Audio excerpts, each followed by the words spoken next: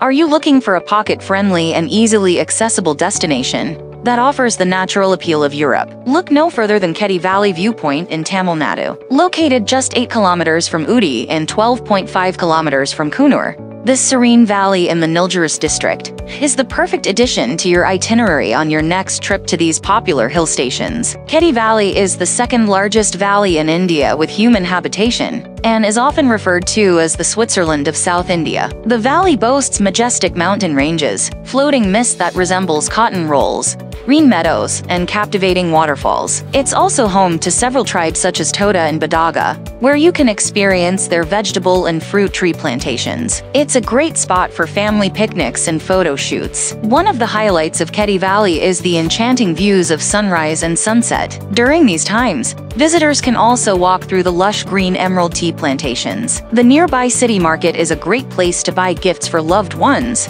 and the valley also has many fine dining restaurants cafes, and shops. Other nearby places of interest include India's largest rose garden, the Sims Park, Ooty Lake Thunder World Theme Park, Doddabetta Peak, St. Stephen's Church, Ooty Golf Course, Pykara Lake, Stonehouse, Nilgiris Mountain Railway, and Mariamman Temple. Reaching Ketti Valley is easy. You can hail a taxi or a share cab from Coonoor, or take a taxi service from Coimbatore International Airport, which is the nearest airport. Don't miss out on the opportunity to explore this hidden gem in Tamil Nadu. Make sure to include Ketti Valley Viewpoint on your next trip to Ooty and Coonoor.